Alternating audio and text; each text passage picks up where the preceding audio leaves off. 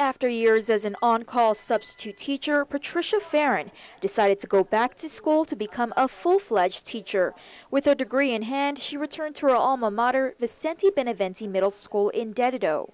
After a while, I, you know, since it was already five years, I decided, okay, I'm ready to go to school. So I told my husband, get your money ready because I'm ready to go to school. I, I didn't feel any different other than the fact that, you know, um, I'm now expected to do my lesson plan. I'm not following anybody's lesson plans. As an eighth grade reading teacher, she instills the love of books in her classroom.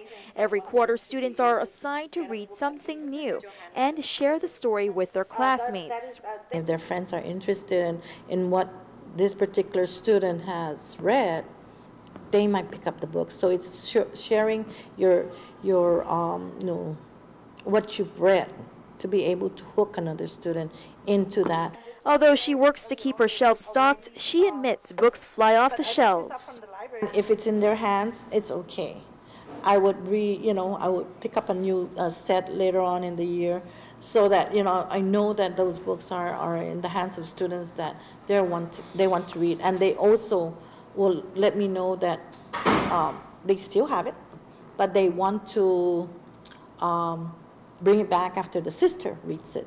So again, it also gets the parents or the sisters, brothers interested in it. Reality that she's been educating for the last 28 years kicks in when students say their moms and dads were her students too. The students that I have now, their parents were my students. Uh, we, you know, in, when they were uh, students, and uh, the students that come into this year, you know, goes, my mom knows you what's your mom's name?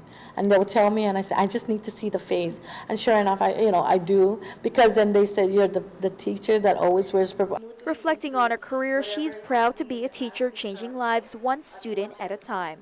When a student comes up to me and says, Miss, I listened to what you said, and now I am putting more effort into staying in school and I, you know, I want to learn because you're right. Whatever you were teaching, you know, if I don't learn it, it's going to get harder.